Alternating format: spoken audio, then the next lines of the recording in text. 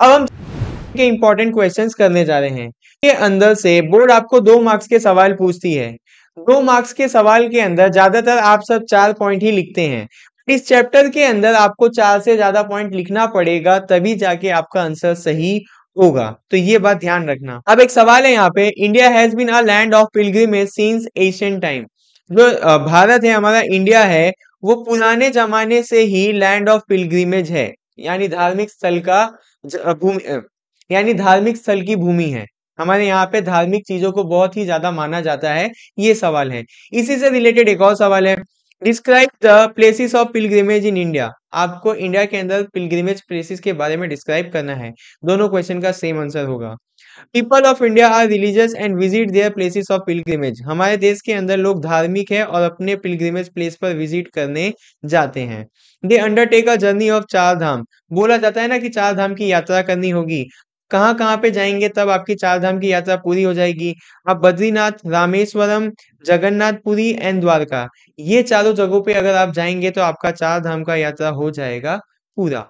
The visit twelve jyotirlinga which are scattered all over India हमारे देश के अंदर टोटल ट्वेल्व ज्योतिर्लिंग्स है। आप अगर उनके वहाँ पे जाते हैं तो आपका ज्योतिर्लिंग यात्रा भी पूरी हो जाएगी। ये जो बारह ज्योतिर्लिंग है, ये इंडिया के बारह अलग अलग जगह पे है। तो वही बात यहाँ पे लिखी हुई है। दे अंडरटेक परिक्रमा एट गिन्नार गिन्नार के अंदर कुछ 35-36 किलोमीटर की एक परिक्रमा होती है, जिसके अंदर भक्त होते हैं, साधु, संत सारे मिलकर ये परिक्रमा को करते हैं। इसको करने में करीब करीब चार पाँच दिन चले जाते हैं हमारे देश के भक्तों के और साधु संतों के। अब ये सत, सतरंजय या सतरुंजय, इस नाम से आप इनको बोल सकते हो। ये जैन लोगों की एक पिलग्रिमेज प्लेस है। एंड द रिवर नर्मदा, ये सारी गुजरात के अंदर पिलग्रिमेज प्लेसेस वाली जगह है। आप यहाँ पे जाके मोक्ष की प्राप्ति कर सकते हो। देर आर फिफ्टी वन शक्तिपीठ इन इंडिया ऐसा बोला जाता है कि लॉर्ड विष्णु ने सती माता के 51 पीसीस कर दिए थे अपने सुदर्शन चक्र से। और वही 51 पीसीस हमारे धरती के ऊपर गिरे थे, उन्हीं सारी जगह को 51 शक्तिपीठ के अंदर इंक्लूड किया जाता है। और ये सारी जगह भी हमारे देश के पिलग्रिमेज प्लेस के अंदर आती हैं। अब लास्ट लाइन में लिखा हुआ है in this way India has been a land of pilgrimage since ancient times अब यहाँ पे देखो, एक, दो तीन, चार, पाँच छ छह पॉइंट लिखा है मैंने, बट ये जो ऊपर वाली पॉइंट है, इसको आपको लिखना पड़ेगा क्योंकि आंसर को बड़ा करना है। और नीचे तो सेम जो क्वेश्चन था उसी को लिखा है, यानी इसके अंदर भी आपने चार ही पॉइंट याद किया। लिखा छह है, बट चार पॉइंट याद किया और आपका आंसर पूरा लॉजिकल वाला हो गया। अब यहाँ पे एक सवाल है कि Ahmedabad is known as historical city why?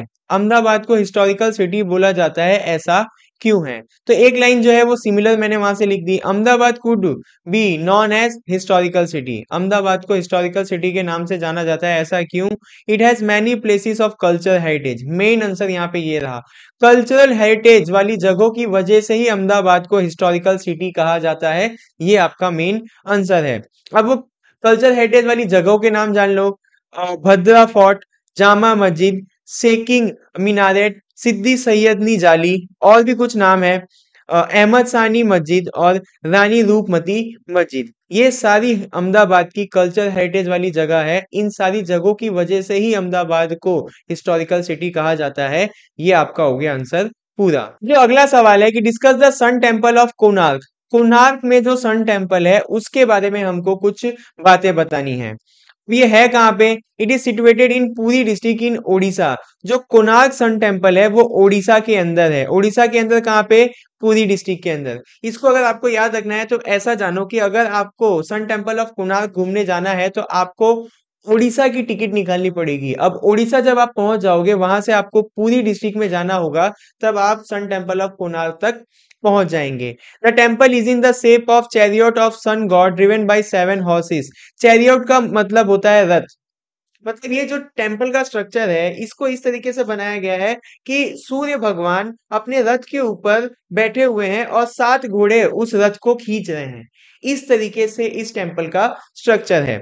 Sun temple of Konark has twelve massive wheels जो सन टेंपल ऑफ़ कोनार्क है, उस मंदिर के वहाँ पे ट्वेल्व मैस्यू व्हील्स भी है।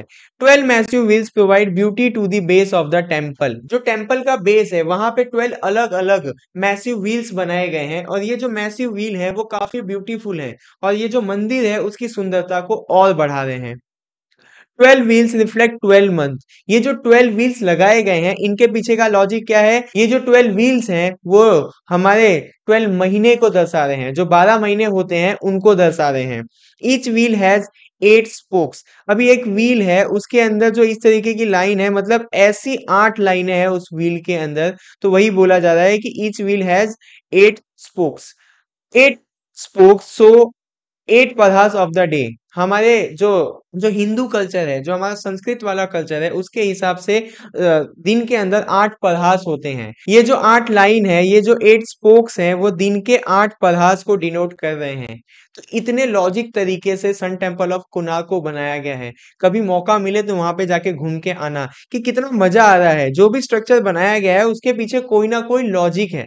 अब यहाँ पे आपको आंसर भी हार्ड नहीं लग रहा होगा क्योंकि जानने में मज़ा आ रहा है। अब अगला जो सवाल है, वो क्या बोल रहा है कि write a few line on Khajuraho temple हमको खाजूराहो टेंपल के बारे में कुछ बातें बतानी है।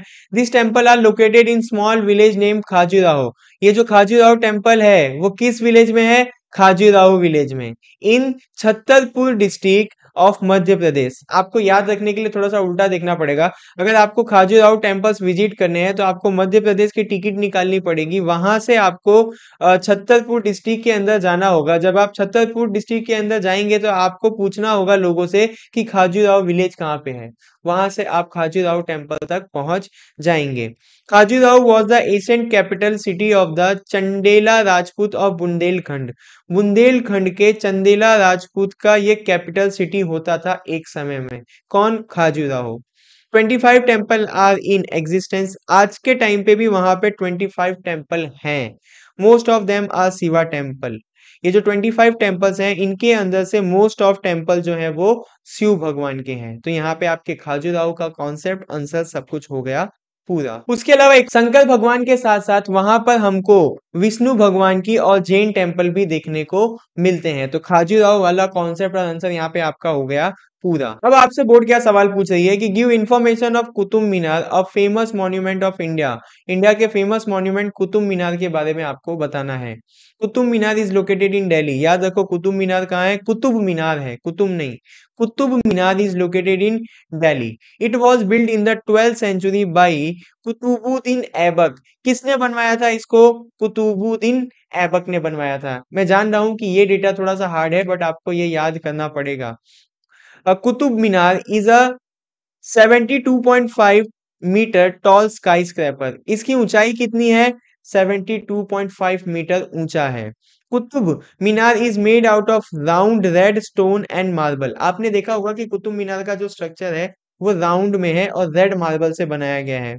The circumference is 13.75 metre at it base नीचे का जो सरकमफेरेंस है, वो इतना है। और ऊपर का जो सरकमफेरेंस है, वो इतना है। बहुत इजी इजी लाइंस में आपको इस आंसर के अंदर डाल के दे रहा हूँ। इसके अलावा और कोई भी आंसर लगाने की कोशिश मत करना। ये डेटा याद कर लेना तो आपका आंसर के अंदर इम्पैक्ट बनेगा। अब यहाँ पे एक सवाल है कि give information about the fort of Agra ऐसे हमारे पास दो फोर्ट हैं, एक फोर्ट ऑफ़ आगरा और एक फोर्ट ऑफ़ दिल्ली बट अभी पूछा गया है आगरा के फोर्ट के बारे में।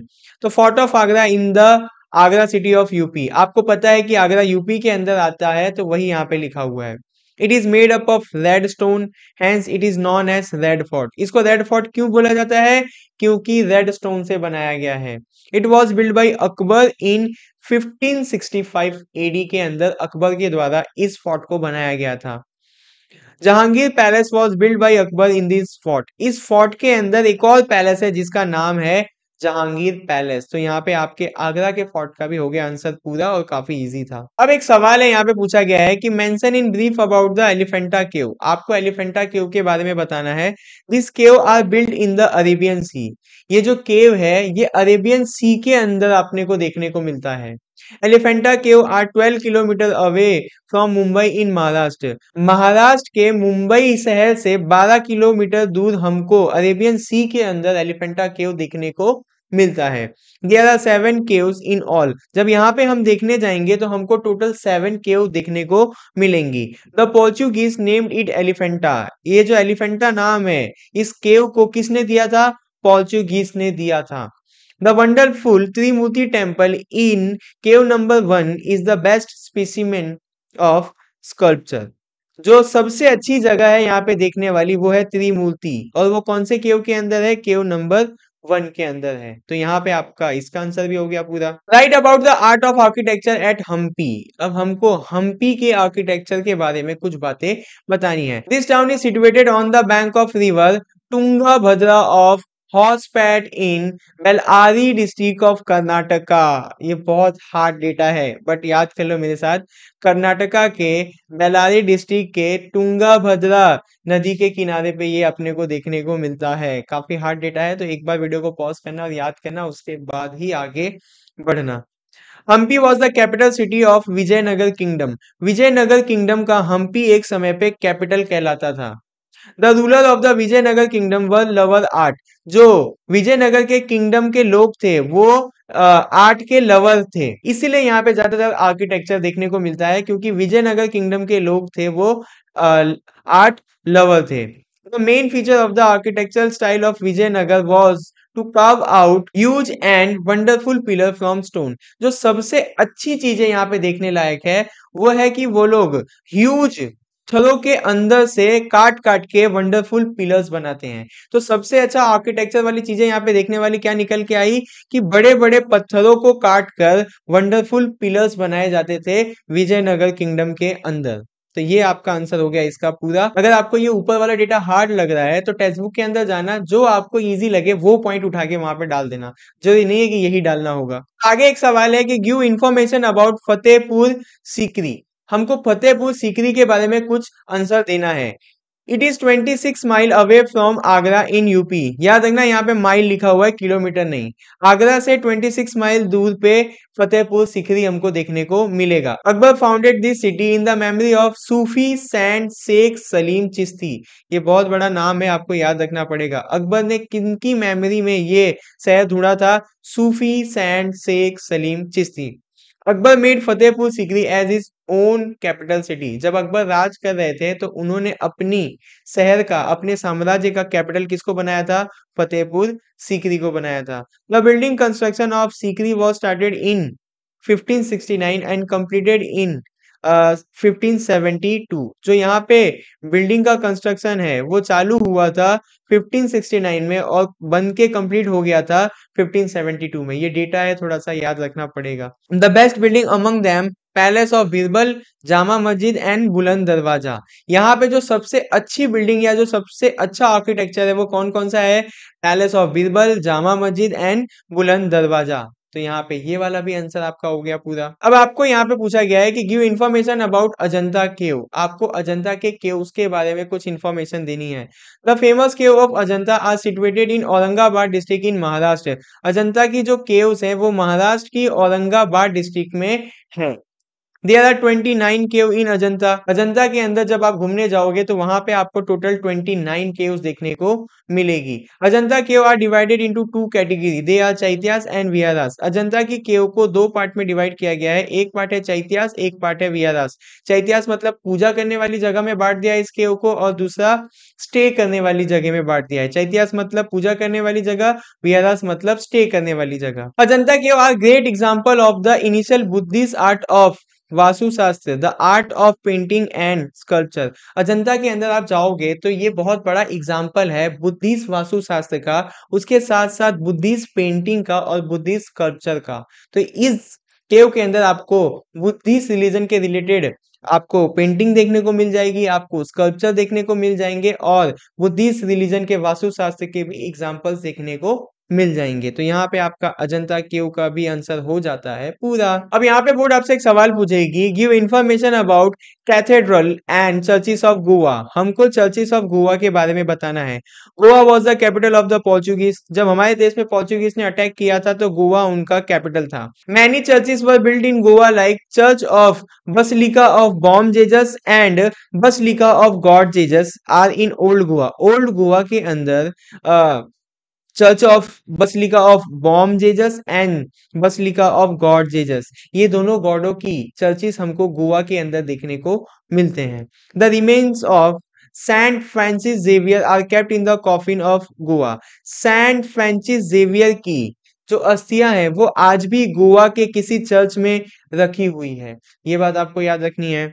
Saint Francis Xavier dead body has not decayed even after many year Goa में जो सैंट फ्रांसिस जेवियर जी की डेड बॉडी रखी हुई है, वो आज तक खराब नहीं हुई है। इस तरीके से प्रिजर्व करके उनकी बॉडी को रखा गया है। तो यहाँ पे आपका इसका आंसर भी हो गया पूरा। अब यहाँ पे आपको एक सवाल पूछा है कि write a note on the red fort of Delhi अब आपको डेली के रेड फोर्ट के बारे में बताना है।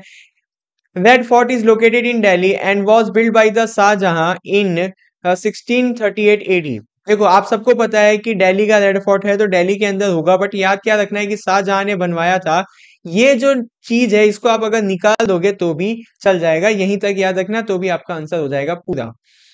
This fort is made of red stone ये इजी आपको पता होगा। दिस फोर्ट इंक्लूड दीवाने आम, दीवाने खास और एक है रंग महल ये जो चीज़ें हैं, ये रेड फोर्ट ऑफ़ दिल्ली के अंदर बनाई गई कुछ आर्किटेक्चर ब्यूटीफुल आर्किटेक्चर्स हैं। Peacock throne is the beautiful creation of this fort peacock throne यानी पीकॉक थ्रॉन नामक एक गद्दी है। वो इस फोर्ट की सबसे ब्यूटीफुल क्रिएशनों में से एक है।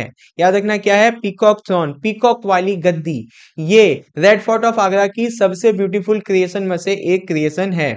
Nadir Shah took the peacock throne along with him to Iran Nadir Shah नामक कोई राजा होंगे जो ये पीकॉक थ्रोन को ईरान लेकर चले गए। अब यहाँ पे जो लाइन लिखी है वो आप सबको, हम सबको पता है और ये हमारे लिए बहुत प्राइड मूवमेंट होती है। Every year, our Indian flag is hosted on the Red Fort on National Festival. हमारे देश में जब भी 15 अगस्त है या 26 जनवरी है तो रेड फोर्ट के ऊपर हमारे देश का झंडा हमारे प्रधानमंत्री के द्वारा लहराया जाता है। वही यहाँ पे लिखा हुआ है। ये लास्ट सवाल है आपका। Where is the Humayun tomb situated give brief information about it Humayun tomb कहाँ पे है? इसका जवाब आपको देना है। तो the Humayun the tomb of Humayun at Delhi is the best example of Mughal architecture Humayun tomb कहाँ पे है? दिल्ली के अंदर है। After the death of Humayun it was build by his wife queen Hamida Begum Humayun के death हो जाने के बाद इस थॉम्ब का स्ट्रक्चर किसने पूरा करवाया?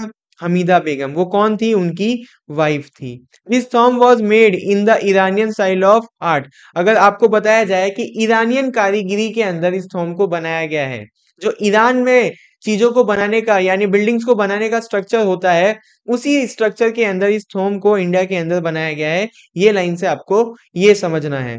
Red and white stone were skillfully used in it इसको बनाने के लिए रेड और व्हाइट स्टोन का इस्तेमाल किया गया है। तो यहाँ पे आपका ये चैप्टर भी पूरा हो गया। ये चैप्टर के अंदर मेरे को आपको बस यही बताना था कि आंसर को पूरा करने के लिए और एक दो लाइन ऐड करनी पड़ जाएगी। अगर आपको इन टॉपिक के अंदर से कोई भी टॉपिक अभी भी हार्ड लग रहा है तो मुझे कमेंट करना, मैं उसको इससे भी इजी तरीके से समझाने की कोशिश करूँगा।